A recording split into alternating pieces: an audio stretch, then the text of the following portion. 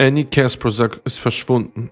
Ihre Eltern finden einen Brief in ihrem Zimmer. Dieser Brief enthüllt ein Geheimnis. Der Fall wurde als das Mädchen mit den roten Schuhen bekannt. Im Jahr 2012 alarmiert ein Mann den Notruf. Er fand einen Schuh in einem nahegelegenen Fluss. Dieser Schuh ragte aus dem Fluss heraus und war vom Blut überströmt. Annie K. geriet in eine Auseinandersetzung mit ihren Eltern. Nach einer Weile der Diskussion fordern sie ihre Eltern dazu auf, das Haus zu verlassen. Sie stürmt wütend aus dem Haus und das ist das letzte Mal, an dem sie ihre Eltern sahen. Die Mutter von Annie K. macht sich Sorgen, kann die Nacht kaum schlafen. Am nächsten Tag berichten die lokalen Nachrichtensender von einem Leichenfund. Die Eltern von Annie K. hatten das grausame Gefühl, dass es sich um ihre geliebte Tochter handelt. Sie gingen zum Leichenschauhaus und identifizierten die Leiche. Es war tatsächlich ihre Tochter Annika. In dieser True Crime Folge heute beleuchten wir die tragische Geschichte von Annika, einem Teenager, das eigentlich ihr gesamtes Leben noch vor sich hatte. Wir gehen darauf ein, wieso sie ermordet wurde, wer sie ermordet hat und wie man sie ermordet hat. Die herzzerreißende Geschichte von Annika beginnt mit großem Leid und Schmerz. Annika erblickt das Licht der Welt am 10. Januar 1997. Als Kind wird sie misshandelt und in Pflege gegeben. Im Alter von neun Jahren wird Annika adoptiert. Sie war Studentin in ihrem ersten Studienjahr an der Summit Academy in Draper, Utah. Zum Zeitpunkt ihres Todes im Alter von 15 Jahren wird Annie ermordet. Man findet ihre Leiche im Jordan River, flussabwärts. Berichten zufolge sah man, wie Annie K. am 10. März 2012 das letzte Mal aus ihrem Haus ging. Ihre Adoptiveltern reichten bei den Behörden von Utah eine Vermisstenanzeige ein, da Annie K. noch minderjährig war und über Nacht nicht wieder nach Hause kam. Am nächsten Tag wurde Annies tödlich verletzte Leiche von den Behörden Utahs gefunden. Dem Autopsiebericht zufolge erlag Annie mehrere stumpfen Gewalteinwirkungen und einem Schädelbruch. Alles weist darauf hin, dass sie kaltblütig zu Tode geprügelt worden ist. Am 11. März 2012 entdeckt ein Jogger auf einer Brücke über den Jordan River in Utah einige Blutspuren und einen roten Schuh. Die Blutspuren auf der Brücke waren nicht zu übersehen, da die Spuren groß waren. Der Mann alarmierte sicherheitshalber die Polizei. Im Telefonat kann man hören, wie er sagt, dass er sich nicht sicher ist, ob es sich um menschliches Blut handelt. Leider stellen die Polizisten fest, dass es sich nicht um das Blut eines Tieres handelt, sondern um das Blut von der Leiche, die man flussabwärts fand. Das war der Anfang einer großen Suchaktion. Als die Ermittler mit der Suche beginnen, dauert es nicht lange, bis sie die Leiche im Fluss abwärts entdecken. Nach den Aussagen der Ermittler war es ihnen nicht sofort möglich, die Leiche zu identifizieren, da das Gesicht des Mordopfers entstellt und aufgequollen war. Die Leiche hatte nur einen Schuh an, dieser war genauso blutüberströmt wie der Schuh, den man zu Beginn der Suche fand. Das Gesicht der Leiche war von stumpfer Gewalt geprägt und der Schädel wies eine Fraktur auf. So auch laut Autopsiebericht. Die linke Gesichtshälfte war zertrümmert, die Nase war nicht nur gebrochen, sondern komplett in das Gesicht hineingeschlagen worden. Das Gesicht war förmlich entstellt, alles Indizien für einen grausamen Mord. Autopsienberichten zufolge lag die Leiche über Nacht im Fluss, das trug auch dazu bei, dass die Leiche aufgequollen war und die Beamten nicht sagen konnten, ob es sich um die vermisste Annie K. handelt. Die Beamten, die Annies Leiche fanden, waren entsetzt, denn das war alles andere als gewöhnlich für die Ermittler aus Utah. Der Ausmaß an Gewalt war so deutlich an der Leiche zu erkennen, dass es jeden Ermittler schockiert hätte. Auch diese, die nahezu täglich mit Leichenfunden zu tun haben. Ein leitender Beamter der Ermittlungen im Mordfall von Annie K. betrieb Suizid. Laut den Aussagen seiner Frau konnte man Derek ansehen, dass er von dem Fall von Annie K. emotional sehr mitgenommen war. Natürlich verriet er seiner Frau keine Details, da es sich zu dem Zeitpunkt noch um eine laufende Ermittlung handelte. Seine Frau erzählt, dass Derek in dieser Zeit der Ermittlungen kaum zu Hause war. Sie beschreibt den Druck und den Stress, den Derek empfand, mit einem Ergebnis, das sie zu Hause miterlebte. Laut ihres Interviews bei KSL sagt sie, dass er nur vier Stunden schlief, sehr erschöpft war und wenn er nach vier Stunden Schlaf aufwachte, hatte er 90 Nachrichten auf seinem Handy. Letzten Endes konnte Derek mit der schrecklichen Situation nicht umgehen und starb an einem Autounfall, das er selbst verursachte. Als die Eltern des Mädchens im Leichenschauhaus ankamen, konnten sie ihre geliebte Annika sofort identifizieren. Damit war der Fall für die Ermittler klar.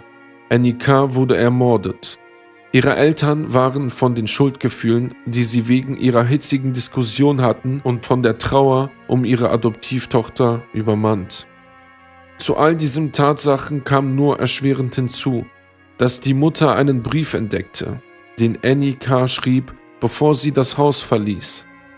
In dem Brief schildert sie ihren Eltern ihre emotionale Verfassung und die Motive dahinter. In dem Brief schrieb sie, dass sie vorhatte, die Stadt zu verlassen und ein neues Leben anzufangen. Dabei ginge es nicht um ihre Eltern oder die Diskussion, die sie vorher hatten, sondern um Annies Schuldgefühl. Annie K. fühlte sich schuldig, da sie ihre Freunde damit belog, dass sie schwanger von ihrem Freund Christopher Bagshaw sei. Sie erklärt ihr Handeln damit, dass sie selbst nur schreckliche Erlebnisse aus ihrer frühesten Kindheit wiedergeben kann da sie ja misshandelt worden ist. Sie wollte unbedingt eine eigene stabile Familie haben, mit der sie all die schlimmen Dinge nicht macht, die ihr widerfahren sind. Annie K. beschrieb auch, dass sie ihre Eltern liebt und bat darum, nicht nach ihr zu suchen, da sie nicht gefunden werden wollte. Als die Mutter Veronica Kasperzak den Brief ihrer geliebten Adoptivtochter fand, rief sie sofort den Freund von Annika an und fragte ihn, ob er etwas von diesen Plänen wissen würde. Darwin, der Freund von Annika, erklärt der Mutter, dass er davon wusste. Er sagt ihr, dass er sie versucht hatte zu überreden und dass er sie seit der Party bei Spencer nicht mehr wiedergesehen hat. Als die Mutter von Annika die Briefe ihrer Tochter und ihre Tagebucheinträge den Ermittlern übergibt, entscheiden sich die Ermittler zuallererst, den Freund des Mordopfers zu vernehmen. Darwin wurde im Beisein seines Vaters verhört, da er zum Zeitpunkt der Verhörung 14 Jahre alt war. Er erzählte den Beamten, dass er Annie das letzte Mal im Haus seines Freundes Spencer sah. Sie waren beide in der Nacht ihres Verschwindens zuvor auf der Party von Spencer seinem Freund zu Gast gewesen. Die Beamten sprachen Darwin auf die angebliche Schwangerschaft von Annie K. an. Dazu sagte er, dass Annie nicht schwanger ist und dass er im Gegensatz zu einer gewissen Person nur einmal Geschlechtsverkehr mit Annie K. gehabt hatte. Laut seiner Aussage hatte Annika einen älteren jungen Mann kennengelernt, mit dem sie regelmäßig Geschlechtsverkehr gehabt haben soll. Der Name des jungen Mannes ist jedoch Darwin unbekannt geblieben. Er kannte nur den Spitznamen LJ. Als die Beamten ihn nach näheren Details wie Aussehen, Wohnort und Alter befragten, konnte er keine Angaben machen, da er LJ nie zuvor gesehen hat er erzählte auch, dass Annie Nasenbluten hatte und ein Tropfen Blut auf seinem Schuh landete. Nach der Party sei er von dort aus zum Haus seiner Oma gelaufen, das 25 Minuten zu Fuß entfernt war. Nach einer kurzen Zeit später, als er im Haus seiner Oma war, entschied er sich noch einen Freund zu besuchen, der nicht weit entfernt von seiner Oma wohnte. Als er an der Tür des Freundes stand und seinen Freund zu Hause nicht antraf, entschied er sich dazu, wieder zum Haus seiner Großmutter zurückzukehren und schließlich verbrachte Darwin Bagshaw laut seiner Aussage die ganze Nacht bei seiner Oma und seit dieser Nacht hat er Annie nie mehr wiedergesehen. Die gesamte Vernehmung verhielt sich Darwin Bagshaw wirklich auffällig. Hier in diesem Video kann man sehen, dass er an der Lehne lehnt und sich mit seiner Körperhaltung klar von den Beamten, der ihn befragt, distanziert. Außerdem gestikuliert er fast gar nicht. Stattdessen kann man sehen, wie er sich an den Armlehnen festhält. Jedoch fanden die Beamten bei der Durchsuchung seines Hauses keine Hinweise darauf, dass man Darwin Bagshaw mit dem Mord in Verbindung bringen könnte. Nachdem die Beamten das Haus von Darwin durchsuchten, erteilte ihnen das Gericht die Erlaubnis für eine Hausdurchsuchung bei Spencer. Die Ermittler mussten die Aussage von Darwin überprüfen und suchten sowohl im Zimmer von Spencer nach Blutspuren als auch im Flur Richtung Badezimmer. Doch die Hausdurchsuchung und die Befragung der Ermittler verlief ins Nichts. Keine Hinweise, keine Spuren und auch keine Verdächtigen. Spencer, der Freund der beiden Teenager, bestätigte die Aussage von Darwin, dass Annie mit ihrem Freund bei ihm zu Hause waren und auch, dass Annie Nasenbluten hatte und ein Tropfen Blut auf dem Schuh von Darwin landete. Zwei Tage nach dem Leichenfund meldet sich ein Mädchen namens Joanne, die eine Aussage machen will, doch als Voraussetzung für ihre Aussage bittet sie um Strafminderung. Joanne ist eine Freundin von Annie K., und war schon wegen Kreditkartendiebstahls Polizei bekannt. Sie erzählte den Ermittlern, dass Annie Geschlechtsverkehr mit LJ hatte und es war offensichtlich, denn alle Gäste der Party konnten das mit anhören, da der Akt angeblich laut gewesen sein soll. Nach dem Geschlechtsverkehr kamen Annie und LJ aus dem Zimmer und John, ein Freund von LJ, erwartete Annie vor der Tür. Er soll sie auch nach Geschlechtsverkehr gefragt haben, jedoch verneinte Annie schüchtern und daraufhin war John in seinem Ego gekränkt. Er packte Annie an den Hals und schlug ihren Kopf gegen die Wand und LJ, der noch einige Augenblicke vorher Geschlechtsverkehr mit Annie hatte, schlug auch auf Annie ein. Gemeinsam prügelten LJ und John Annie angeblich zu Tode, luden ihre Leiche in das Auto von John und entsorgten sie im Fluss und zwangen am nächsten Tag Joanne dazu, ihnen zu helfen, die Spuren im Haus zu beseitigen. Joanne erzählte den Beamten, dass sie am nächsten Tag die Wände gestrichen haben, Türen repariert und einen neuen Teppich verlegt haben.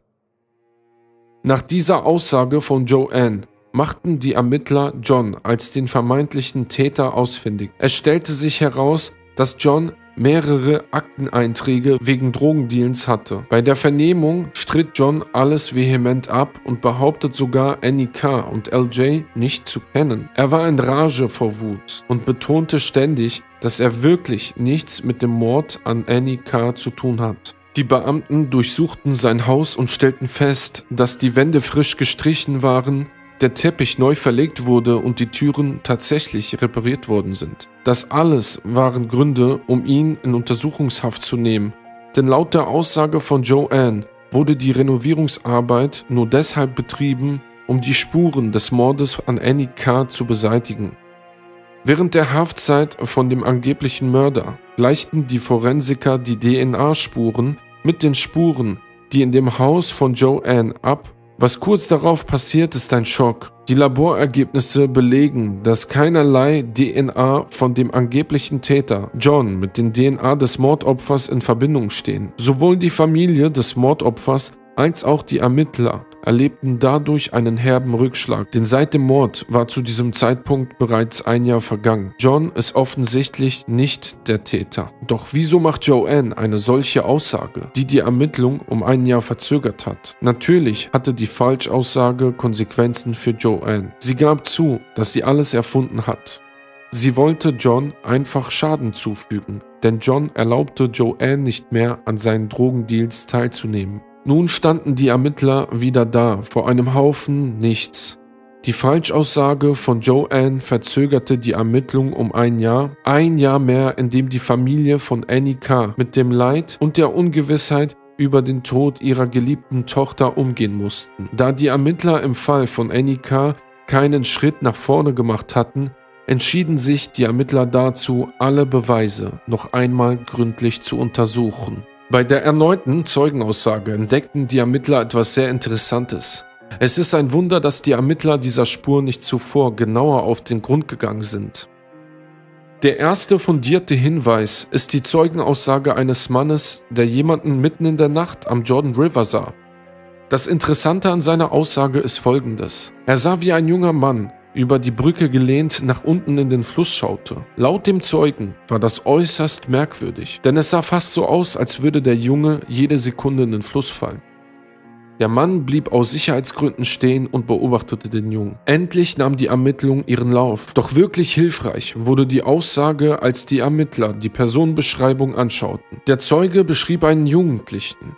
Seine Haare gingen etwas über die Ohren, seine Haare waren zerzaust und seine Statur war schmächtig. Diese Zeugenaussage veranlasste die Ermittler dazu, den Freund des Mordopfers noch einmal zu vernehmen. Jedoch gestaltete sich die Vernehmung des jungen Mannes schwieriger als erwartet. Darwin Bagshaw ist weggezogen. Der Umzug von Darwin Bagshaw verzögerte die Ermittlung wieder weiter um einige Zeit. In der Zwischenzeit entschieden sich die Ermittler dazu, das beschlagnahmte Handy von Darwin Bagshaw, Annika und Spencer wieder zu überprüfen. Sie untersuchten Anruflisten der Handys und entdeckten in der Anrufliste von Annika einen Anruf mit unbekannter Nummer. Die Ermittler gingen dann davon aus, dass es sich bei der unbekannten Nummer um LJ handeln müsste. Doch es stellte sich heraus, dass Spencer und Darwin gelogen hatten. Die Beamten befragten Spencer noch einmal und dieses Mal gab er zu, dass er nicht gesehen hatte, dass Annika aus der Nase blutete. Er sagte, dass Darwin ihm das erzählt hat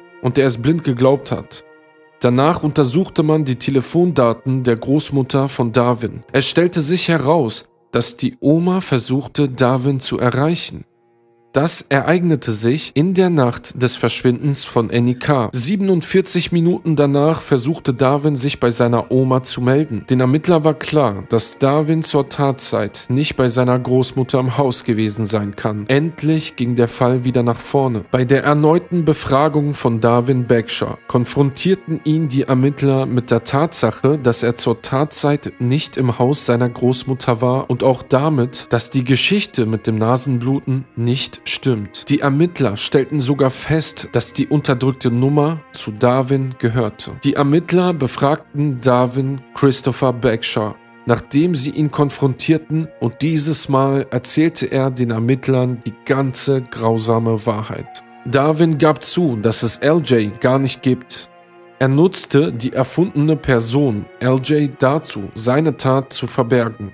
Die Person LJ erfand Annie K., um ihren Freund Darwin eifersüchtig zu machen. Die Ermittler wiesen auch nach, dass Darwin Spencer eine Textnachricht zuschickte. In dieser Nachricht bat er seinen Freund Spencer darum, seine Geschichte mit dem Nasenbluten zu bestätigen.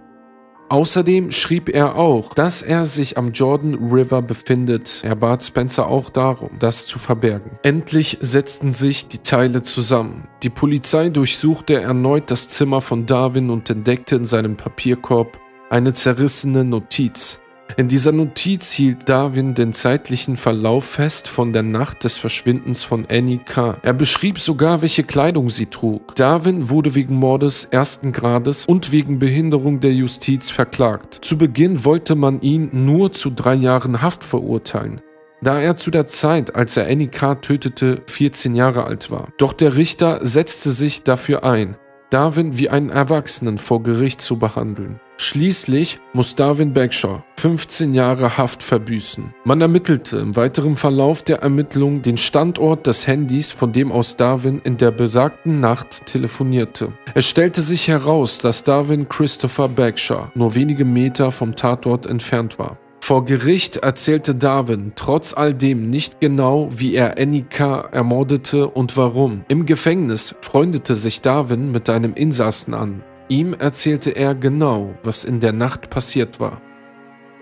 Darwin und Annika trafen sich mitten in der Nacht an der Brücke mit der Absicht, die Stadt zu verlassen und ein neues Leben anzufangen. Darwin ging zum vereinbarten Ort, bewaffnet mit einer Schaufel.